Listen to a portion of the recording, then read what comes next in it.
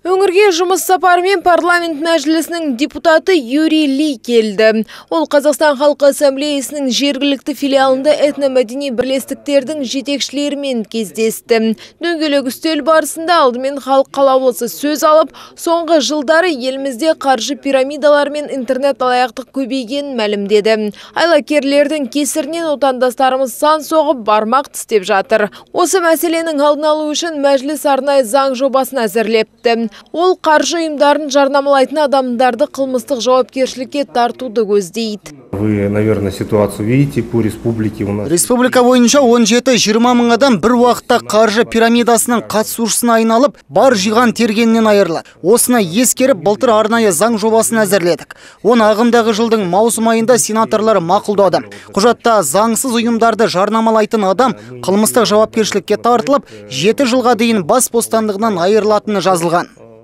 Қаржы пирамидалары аққайындар өлкесінде де құрылған. Біздің өңірде де алаяқтардың құрығына талай теріскейлік түсіпті. Қазақстан халқы ассамблеясы жергілікті филиалы төрағасының орынбасары Владимир Ветченконың сөзінше, алданғандардың басым бөлігі зейнет жасындағы адамдар. списки уже есть, я знаю, что они... Юрий Ли мырза, сіздерде қаржы пирамидаларының тізімі бар екен. Соны бізге берсеңіздер біз арнайы ұйымдармен бірлесе өзімізде зерттеу жасап халық арасында ақпараттық түсіндіру жұмысын жүргізер едік. Бұл бастама өңірдегі заң бұзушылықтарды азайтады деп ойлаймын. Жиын барысында жергілікті ассамблея мүшелері онлайн несие рәсімдеуге тыйым салуды ұсынды. Сөз алғандардың пікірінше бұл интернет алаяқтық фактілерінің азаюына әкеледі. Өз кезегінде Юрий мұндай ұсыныс бұған дейін мәжілісте бірнеше рет қаралғанын алға тартты. Алайда әлі шешім қабылданбапты. Моя личная позиция – это э, личное присутствие. При... Менің пікірімше біз дәл қазіргі уақытта онлайн несие рәсімдеуге емес, сим карталарды онлайн сатып алуға тыйым салуға жетпіз. Яғни әр азамат ұялы телефондағы картаны қолма-қол алуы қажет. тмд елдерінде осындай жүйе қалыптасқан. Дүкенде адамның жеке құжаты сұратылады. Мұның нәтижесінде клиенттің жеке деректері тарап кетпейді.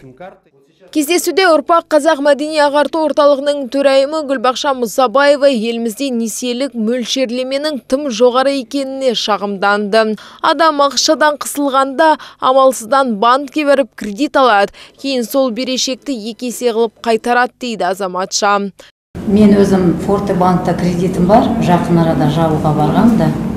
Менің процентный ставка годовой 22 пайыз. Енді мен айтып жатырмын, мен қазір уже жартылай жаптым уақытым әлі көп. Енді мен қайтадан өтініш жазып менің проценттік ставканы азайтыңыздар десе мен олардың саясаттары бойынша түсіндім бұл ешкімге ешқашан ондай мүмкіндік берілмейді екен. Және маған сол жердің маманы айтады сізге қайтада сізге жақсы бағдарлама бұйырған екен. Қазіргі уақытта біз 30 пайызға шейін көтердік дейді көрдіңіз ба Гүлбақша Мұсабаева тағы бір мәселені көтерді. Ол депутатқа өмірге келген әр сәбидің атына жеке шот ашуды ұсынды. Көбіне мынау Азия мемлекеттерінде, Араб мемлекеттерінде мұнай сатқанда әр баланың туғаннан бастап ерекше өзінің шоты ашылады. Соған мемлекет осы өзінің мұнайынан ақшаны бөліп отырады. Қазір халықтың алдында біз сөз сөйлейміз ғой халық көзін көтермейді. Халықтың көңілі жоқ ештемеге сенбейді. Сондықтан осындай маңызды шешімді сіз осы мәжіліс арқылы біздің халықтың ойларымызды жеткізсеңіз жақсы болар еді.